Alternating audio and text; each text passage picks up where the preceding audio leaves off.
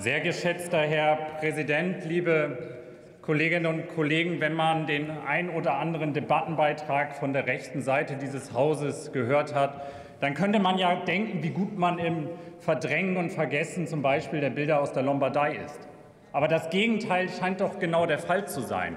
Ich glaube, dass die Rechtspopulisten auch in diesem Hause sich der Gefahr dieser Pandemie mehr als bewusst sind, dass sie bewusst negieren, dass sie bewusst runterspielen, dass sie bewusst fürs Leugnen des Viruses äh, werben, weil sie wollen, dass diese Pandemie in Deutschland voll zuschlägt. Sie sind gemeingefährlich, weil sie wollen, dass es Deutschland schlecht geht, damit es ihnen gut gehen kann. Aber das Spiel lassen wir Ihnen nicht durchgehen, liebe Kolleginnen und Kollegen.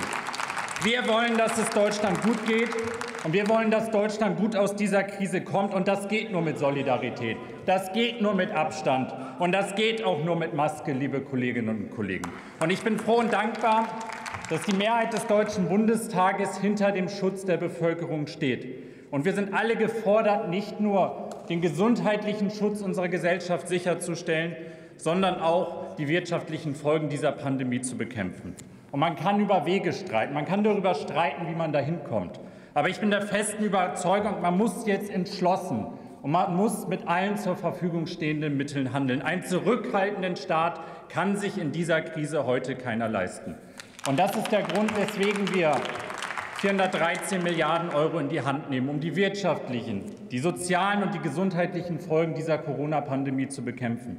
Wir nehmen Geld in die Hand für den gesellschaftlichen Zusammenhalt, für die Sicherung von Arbeitsplätzen, für die Unternehmen, für große und kleine. Wir bringen die Digitalisierung in unserem Land voran. Wir fördern unsere Krankenhäuser. Wir investieren in Forschung und Entwicklung. Wir nehmen Geld in die Hand, um unsere Industrie fit zu machen für das 21. Jahrhundert. Aber und ja, das bedeutet Schulden machen. Und ja, auch mehr Schulden, als einem Haushälter in normalen Zeiten eigentlich lieb sein könnte. Aber was ist die Alternative dazu? Das, was hier von einigen gefordert wird. Wir dürfen und wir wollen den Aufschwung, den wir gerade erleben, der sich manifestiert in Wirtschaftszahlen, in den aktuellen Arbeitslosenzahlen, in der Steuerprognose. Wir dürfen diesen Aufschwung doch nicht durch das Streichen von Konjunkturanreizen jetzt gefährden. Der Wirtschaftseinbruch ist abgefedert. Viele Branchen sind wieder in schwarzen Zahlen und die, die es noch nicht sind, denen wollen und denen werden wir helfen. Für uns gilt, die Schulden, die wir heute machen, die Investitionen, die wir heute tätigen, das sind und das bleiben die Steuereinnahmen von morgen. Und sind wir doch ehrlich, es gibt einige, auch hier im Hause, die wollen gerade bewusst Axt an unseren Staat anlegen. Es gibt diejenigen, die unter dem Deckmantel der Krise das einreißen wollen, was uns gerade auch in dieser Krise stark gemacht hat.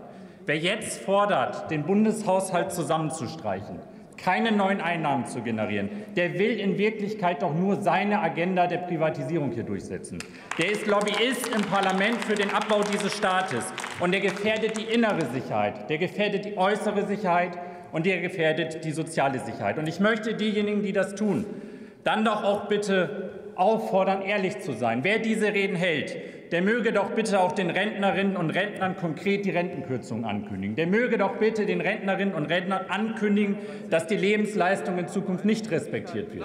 Wer diese Reden hier hält, der möge den Bundespolizisten und den Zollbeamten doch bitte ankündigen, dass die lang dass die lang ersehnten und gebrauchten Kolleginnen und Kollegen nicht eingestellt werden und dass die Beförderungen ausbleiben werden. Wer diese Reden hier hält, der möge den Bürgerinnen und Bürgern doch bitte auch sagen, dass das mit dem Klimaschutz und der Digitalisierung ausfallen wird. Und wer diese Reden hier hält, der möge der deutschen Wirtschaft aussagen, dass die eingeplanten Konjunktur Konjunkturpakete, die Investitionen in Zukunftstechnologien, dass das alles nicht kommen wird. Das gehört zu einer ehrlichen Debatte dann nämlich auch dazu, liebe Kolleginnen und Kollegen. Aber das müssen wir nicht tun. Unsere Verfassung ist an dieser Stelle eindeutig. Sie sagt nämlich, du musst in Krisenzeiten nicht den Staat kaputt sparen, damit du kurzfristig die abstrakte Schuldenbremse einhältst. Und darum ist es richtig, jetzt auch viel Geld für die Bekämpfung dieser Krise in die Hand zu nehmen. Darum ist es richtig, den Staat gerade in der Krise zu stärken, damit er ein verlässlicher Partner für die Menschen in diesem Land sein kann und damit er sein Versprechen erfüllen kann nämlich die Sicherstellung von sozialer, von innerer und von äußerer Sicherheit. Und, und Das Versprechen nach sozialer Sicherheit lösen wir insbesondere mit Dingen ein wie die Leiharbeit. Ein Instrument, um das uns viele Staaten beneiden und das vielen Arbeitnehmerinnen und Arbeitnehmern in diesem Land eine Beschäftigungsperspektive bietet. Und umso dumpfer, eben gerade weil uns so viele Staaten darum beneiden, wirkt doch auch manche Kritik daran. Kritik wie, Herr Präsident, ich zitiere, die Arbeitnehmer würden sich noch daran gewöhnen, ohne Arbeit zu leben. Ich finde, das ist an Zynismus kaum zu überbieten. Und es ist gerade deswegen an Zynismus kaum zu überbieten, wenn man bedenkt, dass wir hier über Menschen reden, die tagtäglich um ihren Arbeitsplatz bangen und die lieber heute als morgen wieder Vollzeit arbeiten würden, liebe Kolleginnen und Kollegen. Und wenn dann dieses Zitat noch von jemandem kommt, dessen Leistung ist, Geld für sich arbeiten zu lassen, dann leistet der eben selbst auch keinen substanziellen Beitrag zur Bewältigung dieser Krise und sollte vielleicht sich etwas zurückhalten, liebe Kolleginnen und Kollegen. Wir brauchen keine pseudoklugen Ratschläge aus der eigentlichen politischen Vergangenheit. Wir brauchen einen Staat, der die innere, die äußere und die soziale Sicherheit in Deutschland gewährleistet und sie auch finanziert. Und weil uns das bewusst ist, verhindern wir aus Überzeugung, dass diese Krise zum Raubbau an unserem Gemeinwesen genutzt wird. Vielen Dank.